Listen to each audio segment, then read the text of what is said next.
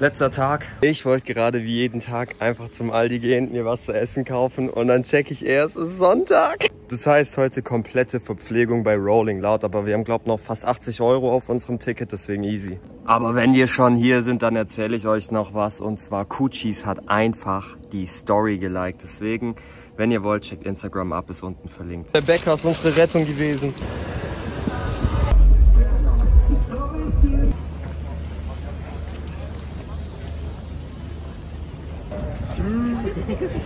Es ist 12 Uhr und die Leute beeilen sich, um zur Mainstage zu kommen. Und ich glaube, da werden ja auch den ganzen Tag campen.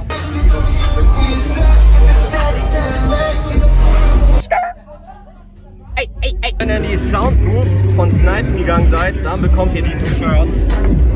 Moment. So, hier. Looks nice.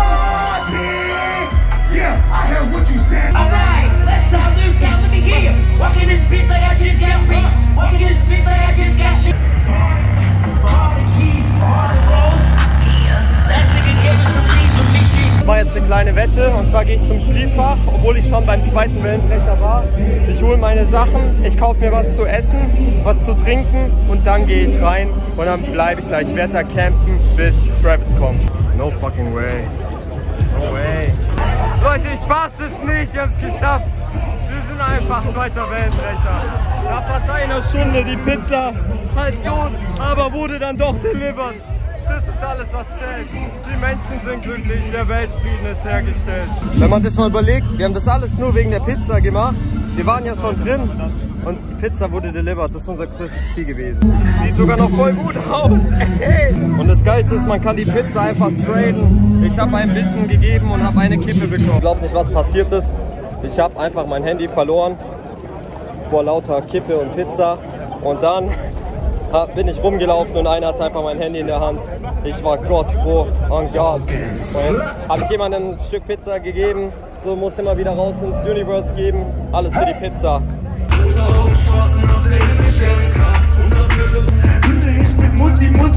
Einen Ertrag. Riesenapplaus für Mixo McLeod. Oh.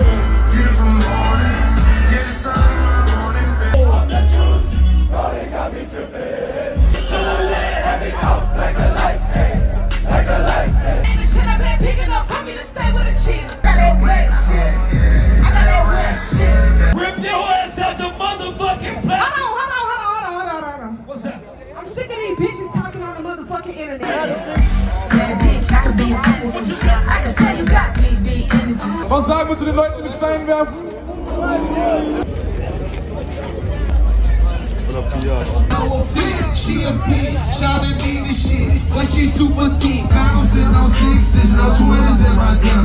Your gun is more than I get. Gucci man, fly, baby, I'm that guy.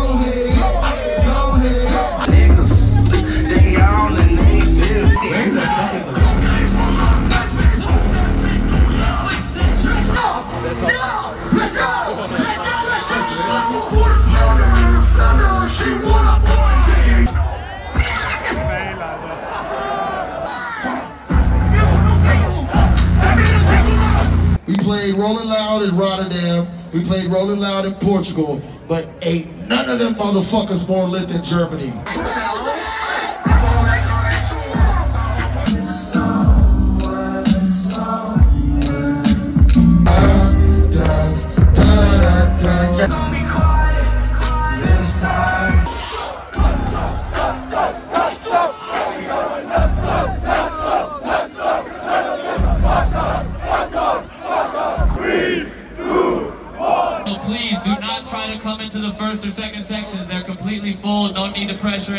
Please, thank you. We fucking love you guys so much. I have no idea what the fuck you're saying, but I know it's so fucking hard. I fucking love you guys so much. Make some noise.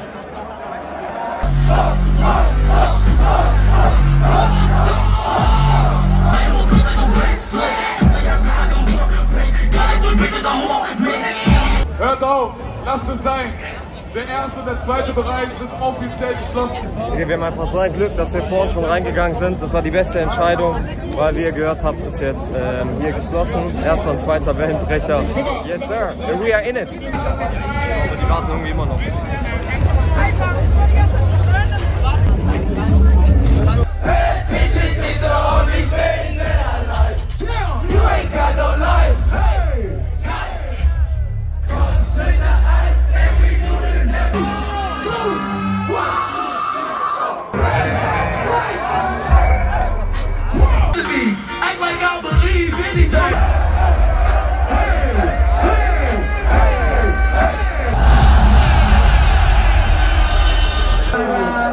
Get it all. Whoa. 3.5 clouds up my window.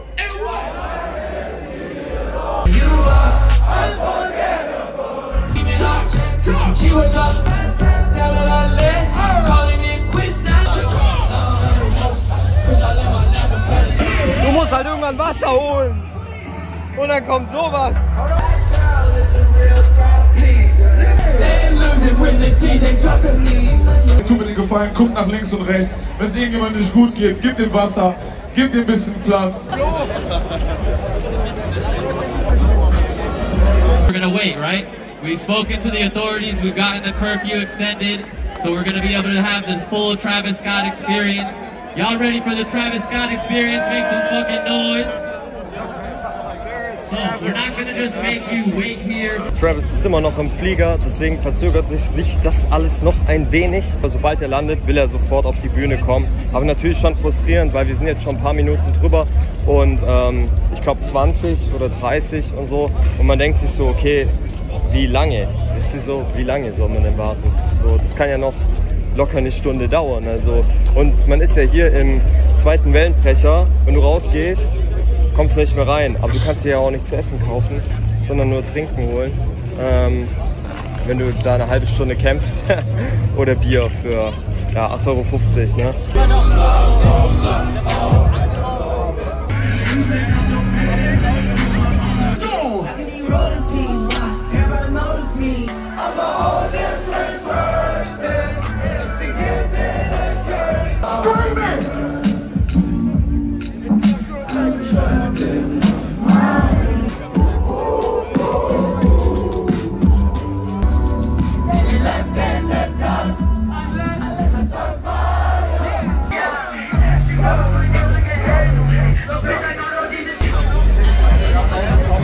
All the security staff, everybody working extra hours tonight.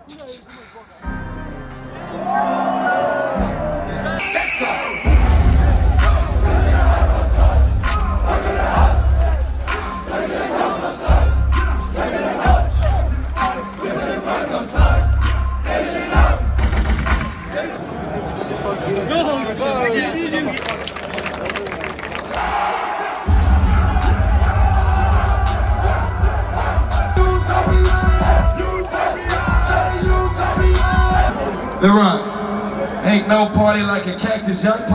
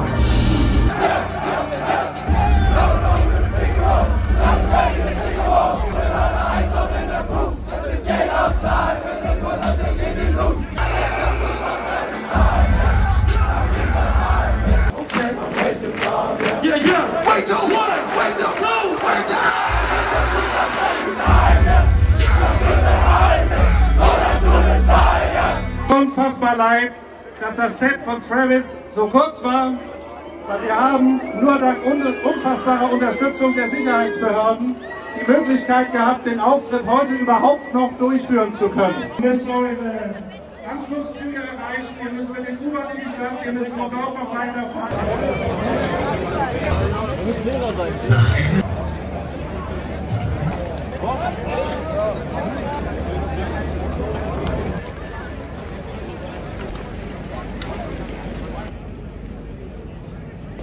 Und es hört einfach nicht auf. Aktuell zu Wartezeiten. Leute, ich mache die ganze Zeit Videos zu meinem Abschlussfazit, während ich hier sitze. Und dann lösche ich die immer wieder danach, weil ich so sage, ja, nee, die sind jetzt noch nicht gut genug. Und ich glaube, das hängt halt einfach damit zusammen, dass ich nicht will, dass es zu Ende ist. Weil in dem Moment, wo ich mein Abschlussfazit hier rausgehauen habe, sind die Vlogs für Rolling Loud vorbei. Wir machen aber noch ein Video, ähm, wo es um das Fazit geht. Ja, okay, Uber nehme ich schon mal sicher nicht.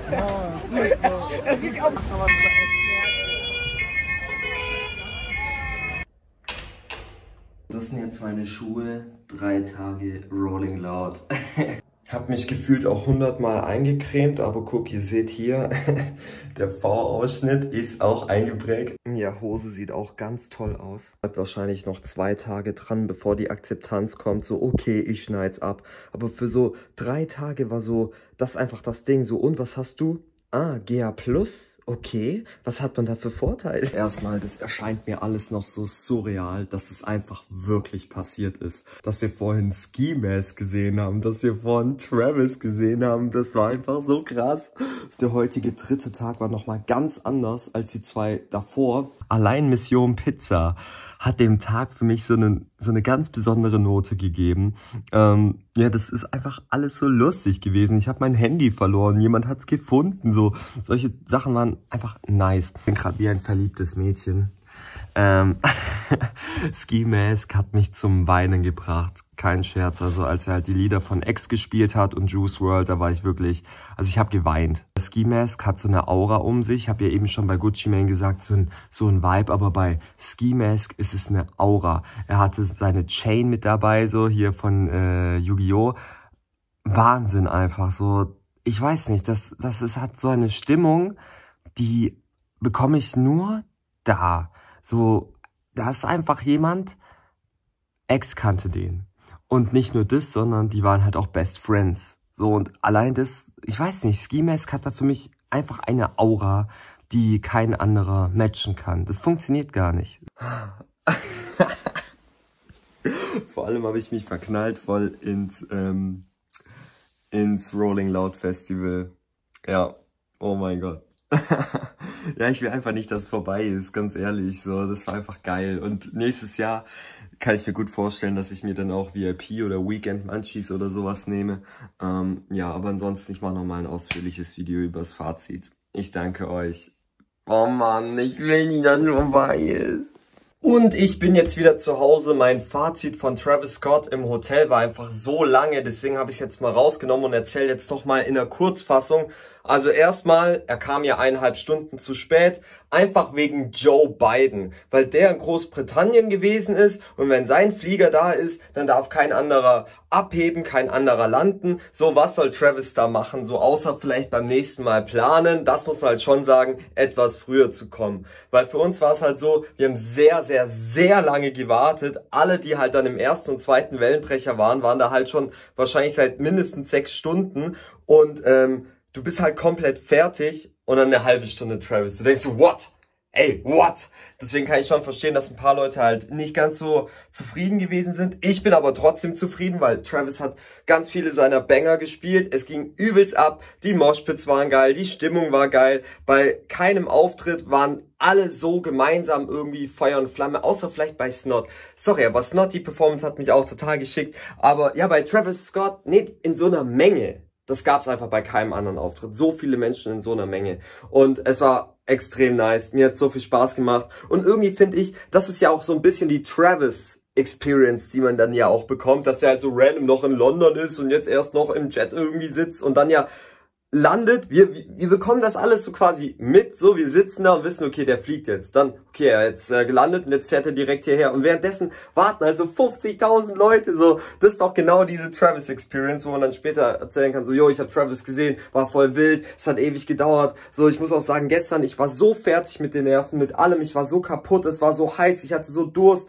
Und ach, ich war einfach fertig, aber dann am Ende, als Travis da war, war das alles verflogen. Und ich finde, das spricht einfach Bände wenn in dem Moment einfach nichts anderes mehr eine Rolle spielt. Also, danke Travis, danke Rolling Loud. War toll, also danke fürs Festival an die Veranstalter, danke an euch, dass ihr diese Videos geguckt habt.